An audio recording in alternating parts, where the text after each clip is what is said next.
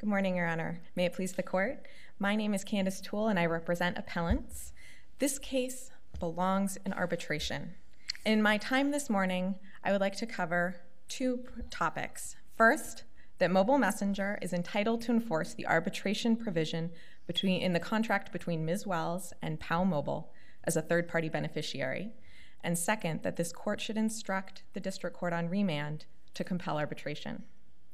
Now, Mobile Messenger is a third party beneficiary of Ms. Wells' agreement with POW Mobile because, in all caps, at the beginning of that agreement, it states these terms include a waiver of claims by you against your wireless carrier or company's suppliers. And that's at ER 362.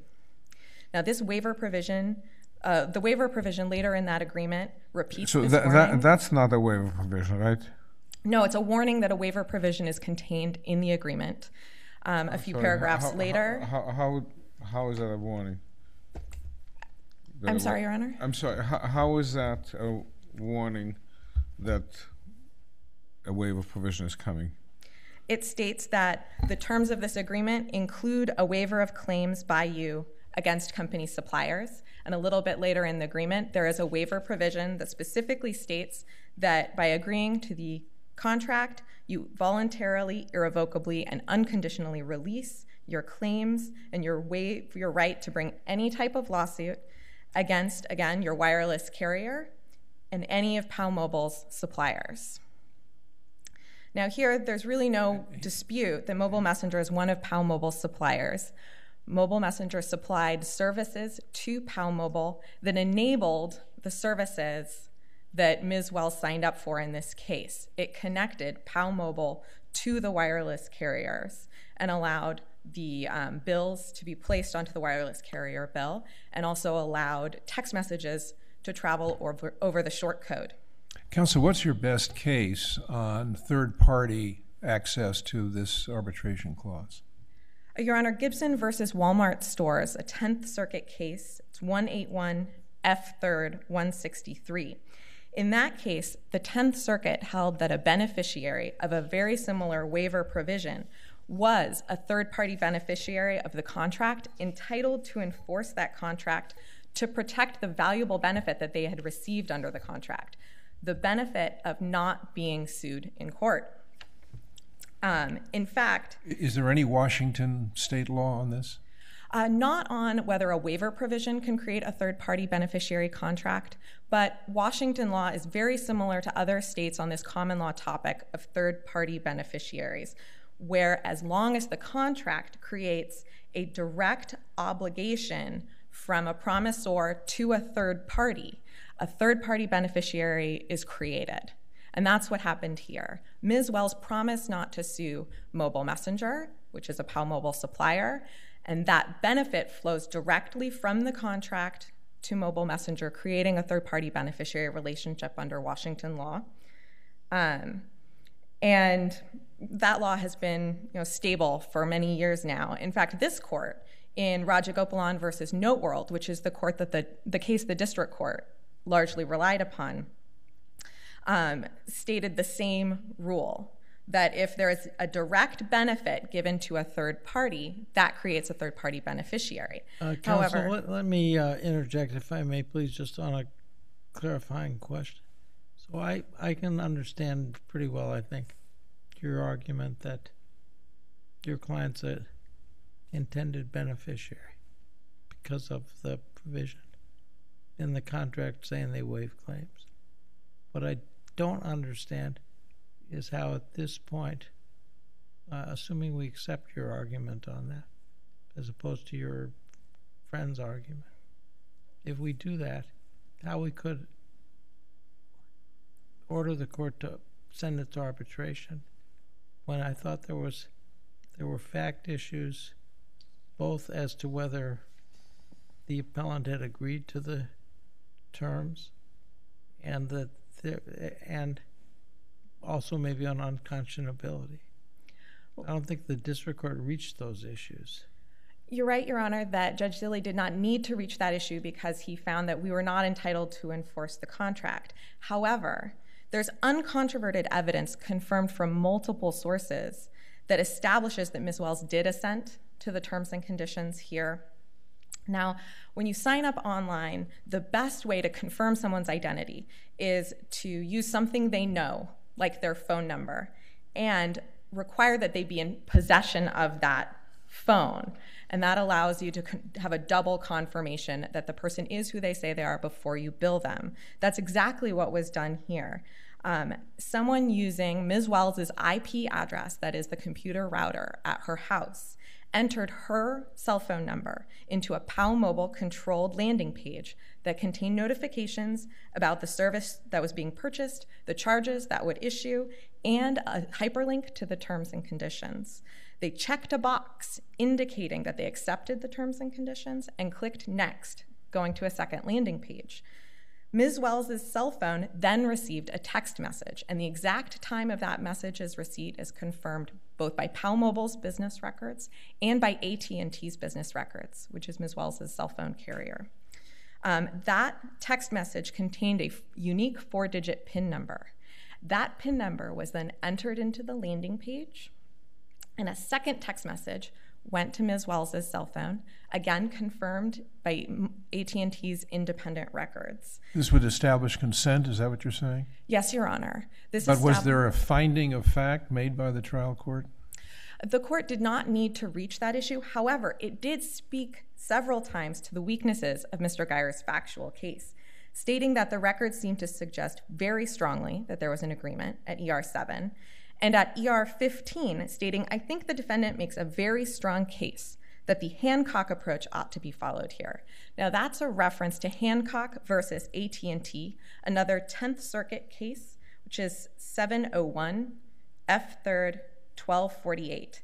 In that case, the court held that a bare denial that someone visited, you know, the relevant website or in that case um, clicked the assent button was insufficient to create a contested issue of fact as to assent when it is carefully worded to avoid actually contradicting any of those detailed facts I just read to you.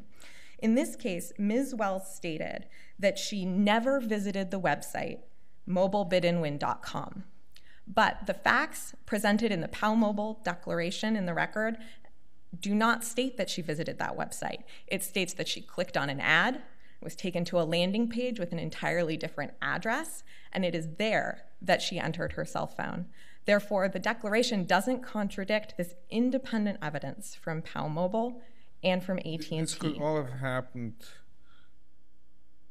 I'm not saying this is what happened, just as a, a hypothetical uh, possibility. Uh, if somebody had her cell phone, they could have done this. If someone knew her cell phone number, was in possession of her cell phone, was in her house using her computer router, and then, after the second text message was received, entered her first and last name, her email address, and her home address into a web page. Why would it have to have been uh, from her home? The IP address belongs to Comcast in Longview, Washington, which is where the plaintiff lives, and it was used for all of these um, separate interactions. And the evidence shows that they entered her home address and email address using the same web browser and the same IP address, which is, you know, again, the router that's in her house. Um, and that is at ER. No, wait. s- The router gets assigned an IP address by the by Comcast, and it's it's not a static IP address; it's a dynamic dynamic IP address. Changes from time to time. How do we know that that is uh, the IP address in a home? Well, in this case, it has been static for several years. Mobile Messenger's business records show that these. this is in the record. Yes, at ER 83. That, that Comcast assigned her a, uh, uh, uh, uh, same IP. I, I'm Yeah. not arguing with you. I'm just. Yeah, so at ER 83, paragraphs 5 and 6, um, the evidence states that the same phone number using the same IP address was used in 2010 to sign up for a similar uh, program. I see. Okay, fair enough. Uh, let, let me ask you. Uh, you got 22 seconds, but uh, uh, how do you read the interaction between paragraphs 11 and 12 of the agreement? The waiver and the arbitration clause. Yeah, So- the, the waiver seems to say you're not going to bring any lawsuits. Well, it says you're not going to bring any lawsuits against wireless carriers and PAL Mobile suppliers, but you can bring claims against PAL Mobile itself, the party you're contracting with. Then the arbitration clause requires that those claims brought against PAL Mobile be taken to arbitration. I'm it sorry, would I'm sorry, run that by me one more time. sure. Um, so you waive your claims. it says you're not going to bring any lawsuits against anybody. You're not going to bring any claims or lawsuits against your wireless carrier or PAL Mobile suppliers, but you can bring claims against PAL Mobile. Just slow down, I'm sorry. okay? You I can- say potato and you say potato. Just listen to what I am asking, Yes. okay? And answer that question, not a different question. I yes, Your Honor, absolutely. So you can bring claims against PAL Mobile under the waiver clause. You simply My can't. My question. I asked about lawsuits. Okay, so the So you, you, I said lawsuits, you said lawsuits or claims, but I don't want to talk about lawsuits or claims. I'm asking you specifically about lawsuits. Sure. The waiver clause does not speak to or doesn't waive lawsuits against PAL Mobile. It's the arbitration clause that states that um, rather than lawsuits, you need to bring your claims in arbitration. And it would be contradictory for the arbitration clause to. I have no idea what you just said. I have no idea. Maybe if you waited and listened to the question. Yeah. 11, uh, paragraph 11 says you will not bring lawsuits, any lawsuits, against um, release a quit uh, for discharge um, against wireless carrier, which is what AT&T, In this case, yes. um, or any of its suppliers, or any other company. But, so it sounds to me like you can sue individuals, but you can't sue any company, anybody. Is, that, is that what it says? No, it says anyone other than PAL Mobile relating to the service. So you can still sue PAL Mobile. Where does it say except Palm Um, that's the last sentence. So it says you cannot bring a lawsuit against your wireless carrier, any of company's suppliers, or anyone other than PAL Mobile relating to the service. Oh, I see. Company is Is PAL Mobile. Palm Mobile.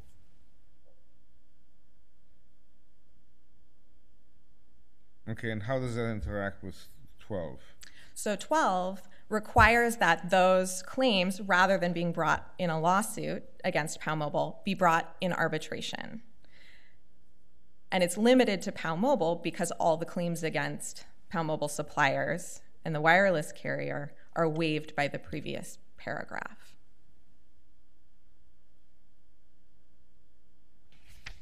Okay. Thank you so much.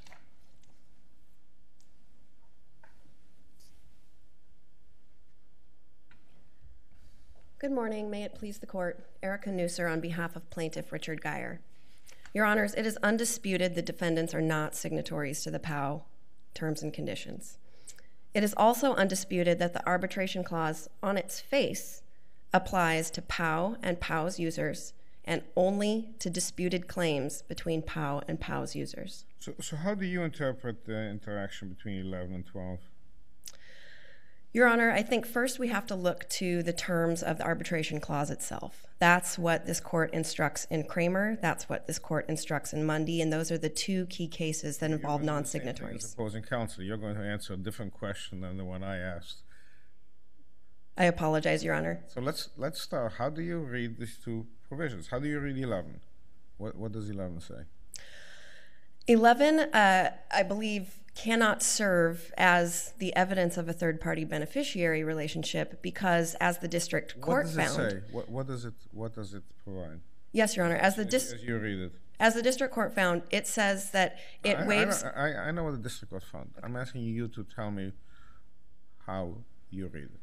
It waives claims by suppliers. The problem with that wording, however, is I'm suppliers. sorry. So suppliers includes MQ. We would contend that it does not. That Okay, this term. is why, this is why I'm asking you this question.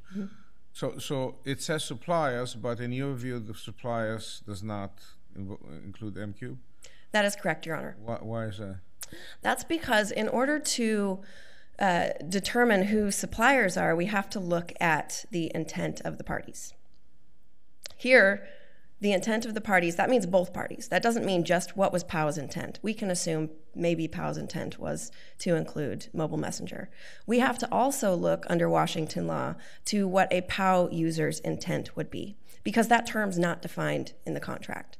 So, can we assume that a consumer entering into a contract of adhesion to bid for au- auction items on their cell phone intended supplier to mean a third party aggregator? I don't think that we can, Your Honor. I don't think a an average consumer even knows what a third party aggregator is. Let me interject a theory, theory question, please, on the argument that you just made. Do you have any authority that says that if someone's an intended beneficiary of a contract, that we look to to the beneficiary's intent and a third party's intent in, in determining what was intended? Your Honor, we don't look to the third party's intent. The intent at issue is the intent between the contracting parties. So here we have to look to what is the intent of POW and what is the intent of a POW user. And importantly, um, the contract itself actually speaks to what the party's intent with, was with respect to third party beneficiaries. And I discovered this in reading the contract again yesterday. If you look at paragraph 13 of the terms and conditions, that's at either page 201 or page 374 of the record. Paragraph 13 starts with this sentence You understand and agree that, except as expressly set forth herein, this agreement is not intended to confer and does not confer any rights or remedies upon any person other than the parties to this agreement. The party's intent regarding third party beneficiary status is clearly spelled out in this contract. This really should end the inquiry as to whether or not defendants are third party beneficiaries. Arguably, that's inconsistent with 11, is it not? And I think that that would then get us back to the argument of whether or not um, suppliers is a uh, term that POW users could have intended to refer to Mobile Messenger and M-Qube. But that doesn't answer Judge O'Scannlain's question. Can you can you ask the question again? Well, I'm just asking, and raising the issue as to whether that isn't inconsistent with paragraph 11. Because paragraph 11 clearly gives rights to people other than the parties. So it, no matter how you interpret this word supplier, it does seem to provide benefits to some class of people that are other than the parties. And Judge O'Scannlain's question, and my question now is, isn't that inconsistent with 13 when 13 says it provides no benefits to anybody other than the parties? I don't think it is inconsistent because I think that the benefit that's created by paragraph 11 is not a direct benefit. It's a benefit that does not It arise. looks pretty direct to me. It says you waive all claim. You know, you, you will not bring any lawsuits. I don't know. I can't imagine a better benefit. Uh, uh, what's what's indirect or unclear about that? I think what's indirect and unclear about that is that it has no relation to the performance of the actual contract. The contract is for a bid and win auction site. And Okay, so so we we have you are having pointed thirteen, and we have your answer to that. But I am I would like to get back to the. I mean, I, I'm not sure I'm satisfied with the answer, but I think that's as good as we're going to get. Let, let's get back to, to the question of what does uh, what does supplier mean? And your view is uh, M-Qube, um, not M-Qube. Um, I get these parties. The the um, the signatory, the, the uh, uh, uh, would have meant this to include perhaps M-Qube, Perhaps. but not your client. Your client wouldn't wouldn't have, right? that's correct, Your Honor. So how does, uh, assuming that that's the case, how does a court resolve that conflict?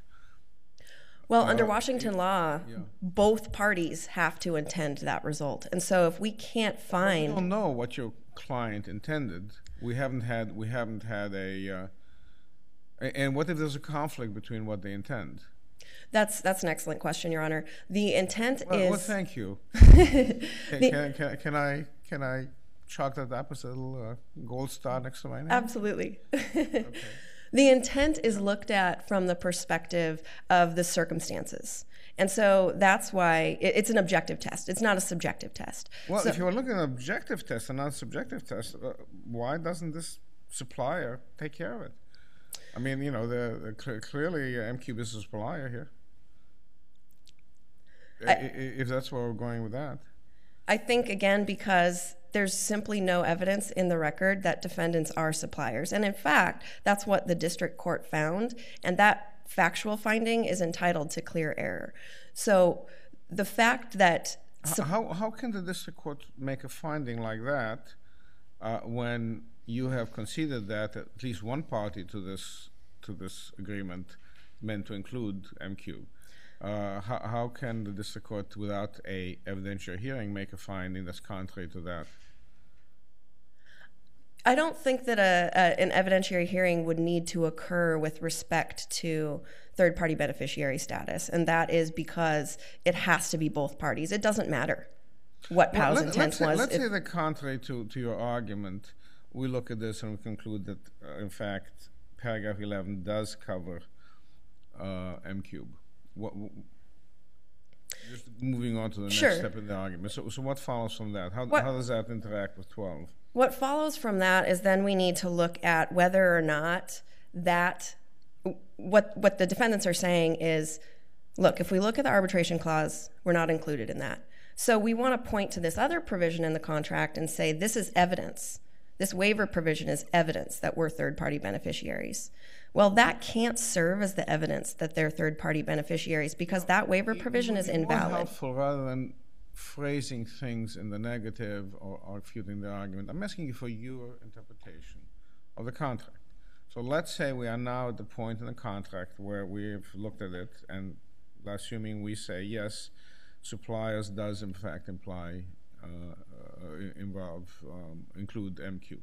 Let's say that's where we are in the analysis. What's the next step? Don't tell me what's not, you know, what they're, why they're wrong. You tell me how to interpret this contract, uh, on, uh, if that's where we are in the analysis. I think the analysis is even if they are, they're still not entitled to enforce the waiver provision. And that is, or excuse me, the arbitration provision. And that's because the arbitration provision is very clear as to who the parties to that provision are. The parties are POW and POW's users. The arbitration provision defines disputed claims as those between POW and POW's users. Okay, so, so, so what you're saying is 11 would act as a categorical bar against lawsuits against MQ, but would not give arbitration as an alternative method of resolving any disputes. I think So that this, this would just act as a total, complete bar. You, you don't get to arbitrate, you don't get to go to court, you don't get to do anything. So once we've interpreted 11 as applying to M-Qube, the end of the matter is there's no claim. There's no place you can bring it.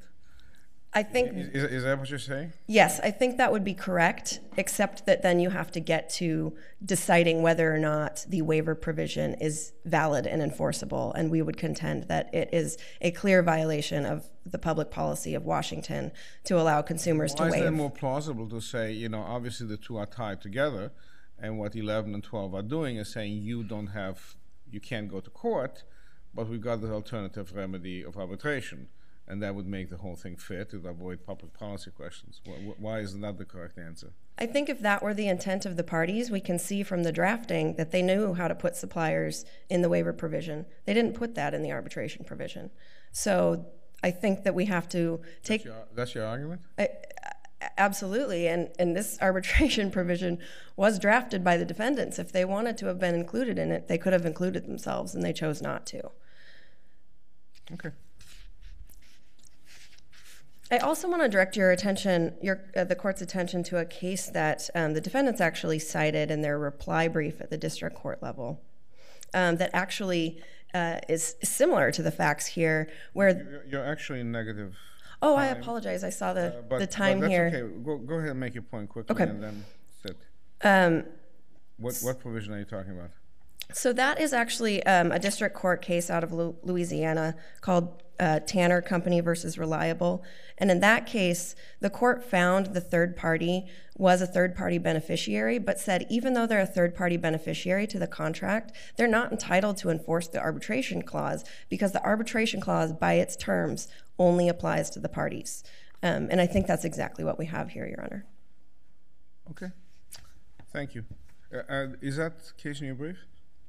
It's actually in the defendant's um, reply, but I can give you the citation. It's uh, 2008 Westlaw 148073. Okay, thank you. I believe you're out of time. I'll give you. A, m- we have a minute.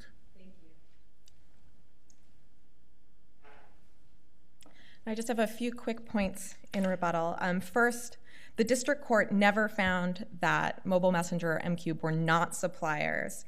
Indeed, at ER 37, uh, lines 11 to 13, opposing counsel conceded that the court could assume Mobile Messenger was a supplier for the purposes of the motion to compel. And in their brief at 256 note 5, so as their opposition to the motion to compel arbitration, they stated that defendants M-Qube and Mobile Messenger contracted with POW to supply support for the PSMS services at issue in this case. In addition, M-Qube appeared on Ms. Wells's phone bill, that's at ER um, 390, paragraph 5.22 of the first amended complaint. Um, in addition, uh, we do not believe that paragraph 13 of the POW Mobile contract contradicts paragraph 11 because it does state except as expressly set forth herein. Therefore, paragraph 11, the waiver clause, um, does or can provide third party beneficiary status on mobile messenger. Finally, the validity of the waiver clause goes to the arbitrator in this case, as Buckeye check cashing teaches us. Even if the contract is void or voidable, the arbitrator decides in the first instance the validity of the waiver. Counsel, would you respond to your opposing counsel's argument that since supplier is not in the arbitration provision, it is not included? Well, Your Honor, it wouldn't make sense to include suppliers in the arbitration provision because the claims against the suppliers are supposed to be waived in paragraph 11, which precedes the arbitration clause in paragraph 12. It would be internally contradictory. And allowing them to bring lawsuits in violation of the waiver clause that would then not be covered by the arbitration clause would allow an end run around arbitration, which is favored by, these, by this court. I'm still not understanding the argument. I didn't understand it in your briefs. I don't quite understand it now. If you're saying you can't bring any claim, including an arbitration claim against M-Qube, then why are you here asking for arbitration? Because the decision of whether the waiver clause can be enforced is a decision the arbitrator has to make in the first instance. Well, but the arbitrator has to have parties that are subject to arbitration. And 13, uh, I'm sorry, 12 only makes parties to arbitration uh, um, the, the company there and, um, and, the, and the subscriber, right? Again, Not, the, not, not, not your client. because the claims against our client were waived in the previous paragraph. And this is exactly the fact situation in Gibson versus Walmart stores, which I cited to you earlier. There, an employee waived claims against her co employees and could only bring a lawsuit against Walmart, the employer. There was then a later arbitration clause that said that claims against Walmart needed to be arbitrated. And the court ordered arbitration against both the co employee and Walmart. And then the arbitrator could determine the validity of the waiver clause But in that case, a suit was brought against Walmart. and the co employee. Well, no, I, I understand, but it was brought against Walmart. Here they didn't make that mistake. Yes, exactly. They tried to do an end run around arbitration by not suing PAL Mobile, the company with whom they contracted. You contracted. can all call it an end run, or you can call it smart pleading. It depends on whether it works, doesn't it? And Your Honor, uh, we've cited some cases in our briefs that explain that courts have disfavored that sort of creative pleading in order to avoid a clear arbitration clause, as was done here. Okay, thank you. Thank you. Um, we take cases are, you were saying submitted, we'll take a brief recess.